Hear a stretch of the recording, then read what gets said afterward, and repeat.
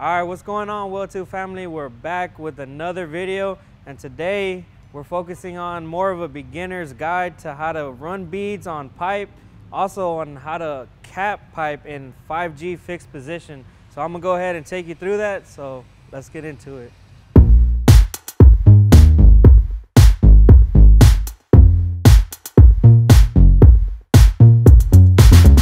All right guys, so like I said, I have a pipe tacked here in the 5G position. And this pipe, as you can see, is actually a blank pipe. It has no weld on it.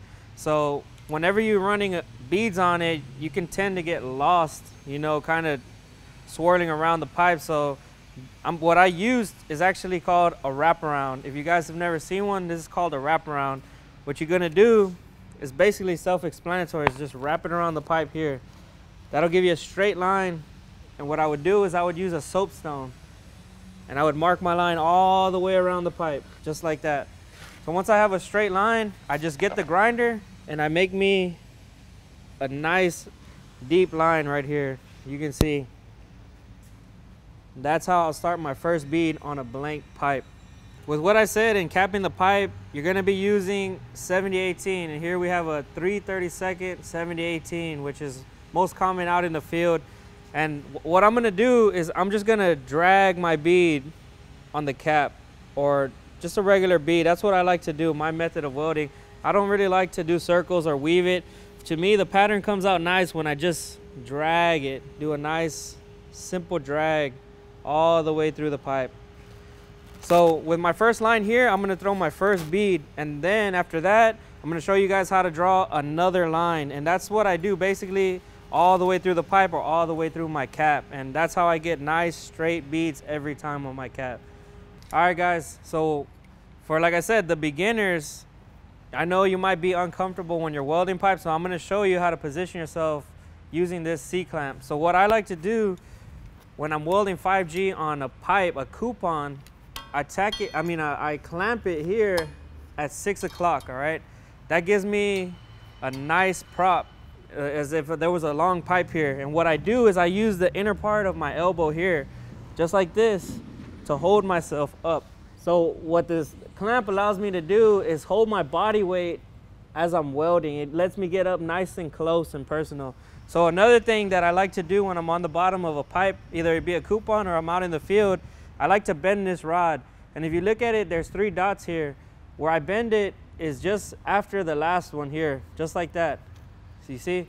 So whenever I get my stinger, I clamp my stinger right here. Point this down and I'm able to use a short rod because when I use a longer rod, for instance, the rod shakes like this, just like this. So when me bending the rod, it allows me to have a stiffer, nice, more stable arc. And that's what I do whether I'm in the field or I'm welding a coupon, practicing, whatever it may be. But I think this would really help you guys out. So I, something that I would recommend. All right, guys. So before we start, I want to just give a quick shout out to Outlaw Leather for this nice uh, carbon fiber pancake. Uh, I use it every time I weld stick, so it's only right. So let's get it back into this. Like I said, I'm gonna use the inner part of my elbow just like this to hold my weight. Also, what I forgot to mention is to prop your right leg up, or if you're left-handed, it would be vice versa because this allows me to to hold my weight here and gives me like I said the better stability that I need. So let's go ahead and start it. I'm burning at 85 amps and that's where I like to use my 7018 no hotter nothing less 85 amps. So here we go. Like I said I'm just doing a straight drag following that guideline that I'm telling you guys, when you draw that guideline, it helps you see everything, keeps you nice and straight. If you've never done it, I really, really recommend that. So just a simple drag. Just go to wherever the rod stops. You don't don't worry about going high, don't worry about going far. Just stop where it stops. So for me, that should be right about here. There we go. All right, guys, so like I said, I use my clamp here at 6 o'clock to get me off the bottom, but now I'm going to put my clamp here at 3 o'clock or whatever, whichever way you're looking at, 9 o'clock, 3 o'clock. that's where I put it so that I can prop myself here, use it to come up. But this time I'm gonna use a whole rod because I feel a lot more comfortable than I would on the bottom. Like I said, 85 amps, whole rod, clamp at three o'clock, I tie in, let's go.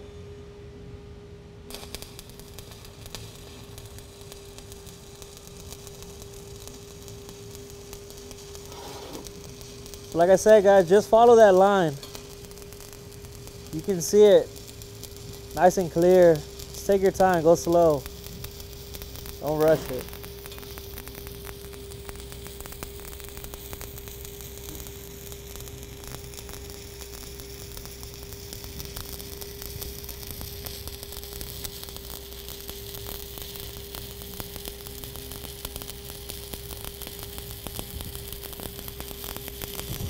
Remember, when you're running beads, you want to build that stamina. You want to keep going. Don't stop, especially when you're on your cap. You don't want to have a lot of tie-ins, so just try your best not to stop. Like I said, build that stamina up.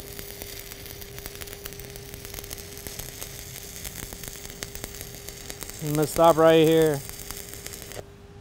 All right, guys, so now we're up here on the top. And for, like I said, for the beginners out there, if you're in school or wherever you may be, here I have a 45, so I'm able to prop on that.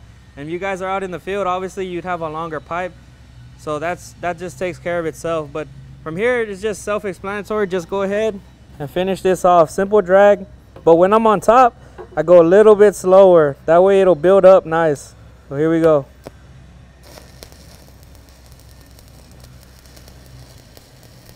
Go a little bit slower, let it build up. On the top, it tends to lay a little bit flatter.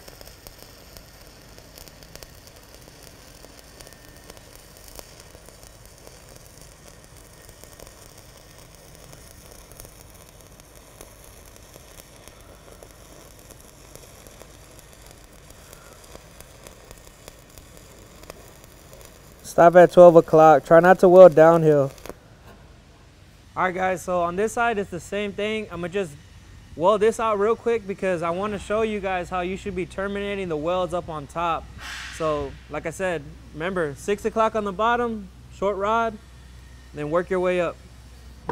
Here we go. Nice tie-in.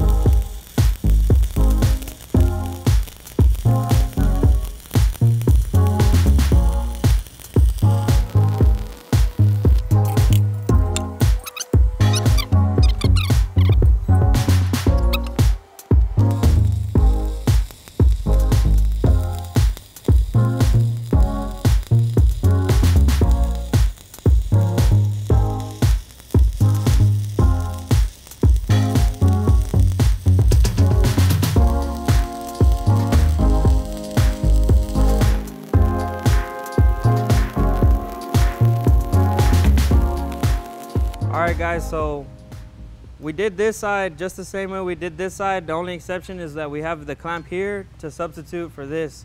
But what I wanted to show you guys is how you should be terminating your beads or your cap.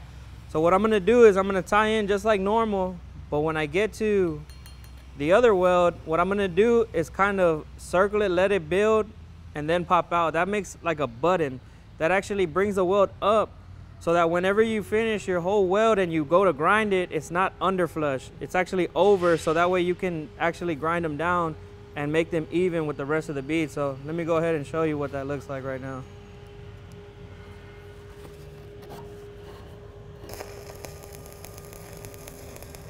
So like I said, just a regular tie-in. Remember on top, take your time, go slow. When you get to the other bead, you're going to pass it just like this. I'm going to pass it, then I'm going to go around it, then I'll pop off. Like I said, what that does, it gives me a button, just like this. You want to look at that? That's a nice button right there. So like I said, whenever I have all my beads and I finish my cap or anything that I have just practicing, uh, when I grind that down, it'll be nice and even with the rest of my beads. Like I said, it won't be under flush. Maybe some of you guys have that problem whenever you finish your beads and you go to grind the stop, it's under flush.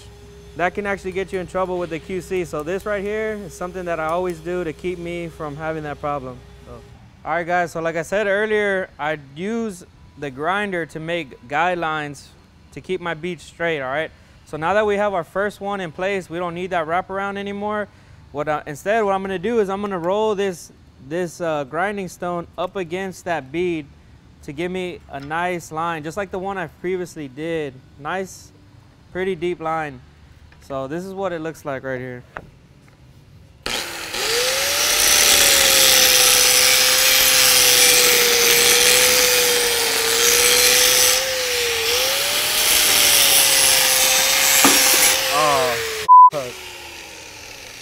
All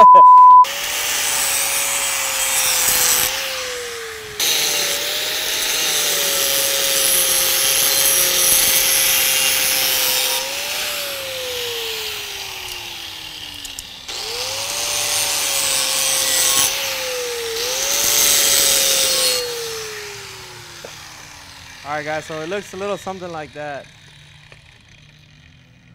You see? Not too deep, but it gives me a solid guideline, like I said, keeps me straight. Also, the point of that is to take out any trash that I may have in there. So if you look right here, I have a small indentation. And with that being exposed with that grind line, I'll be able to burn that out on the next one. So it's multiple uses for that. All right, guys, so you just saw me do the second guideline up against that bead. Remember, six o'clock with the clamp, inner arm, short rod, and let's weld it.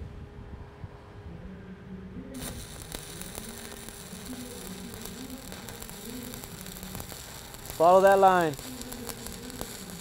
Take your time. This might make a world of difference for some of you guys. I'm telling you. I know when I show some of my students, their cap improves 10 times. Just give it a try.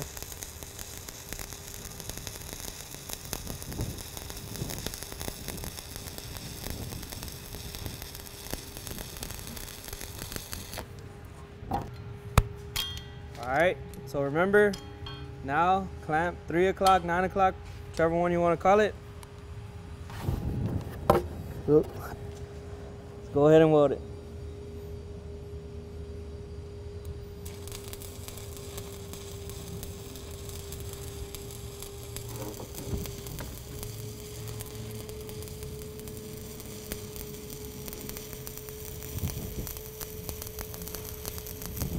Watch that bead, that left side of that puddle, flow over the edge of that line on the left side. Watch it fuse into that bead.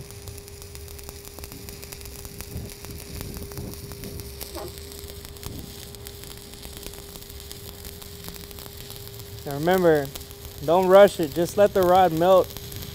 Do its thing. Let it take you where it wants. But be watching that left side of that puddle. Watch tie in, fuse into that other bead. Remember guys, try to build that stamina. Don't stop. Just keep going. Alright guys, so before I finish this top here, I wanted to show you how you're supposed to stop this next bead, alright? Don't stop it at the same tie-in. You want to stop it before. So that way when you finish your cap or all your beads, the, all the tie-ins are staggered at an angle. So when I bring this up, I'm to stop it before that last tie-in. That way when I tie it back here, it's, it's already starting to stagger. Let's go ahead and do that.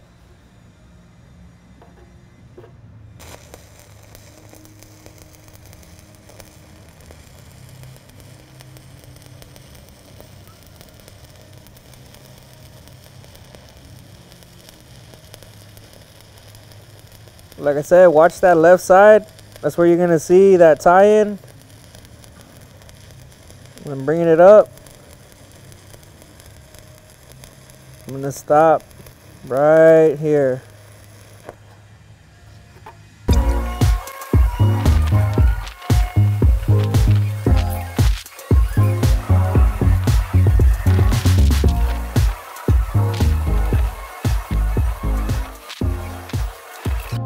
All right guys, so like I said, whenever you're tying in to terminate the weld, you want to stagger them. So that's what I did. Remember, I stopped behind my last tie-in. So when I come from here, I'm gonna keep going a little bit further and make the button again. And that's how I terminate the weld. So it looks like this.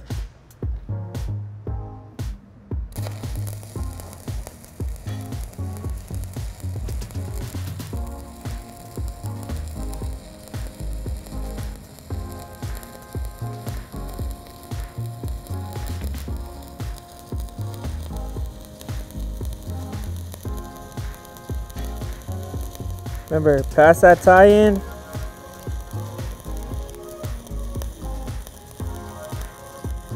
Go over your last weld. Circle it. Pop off. Alright guys, so I'm gonna go ahead and finish out this pipe. But before I do, I'm gonna do another which will be my last grind line. But if you guys are on pipe practicing at your school, I mean, by all means, keep going. Finish the whole pipe. But if you guys are wanting to practice your cap, this is usually where I would stop. I usually get about a three or four beat cap. So I'm gonna just go ahead and finish this one at three, do my last line, and I hope this video helped you guys. So.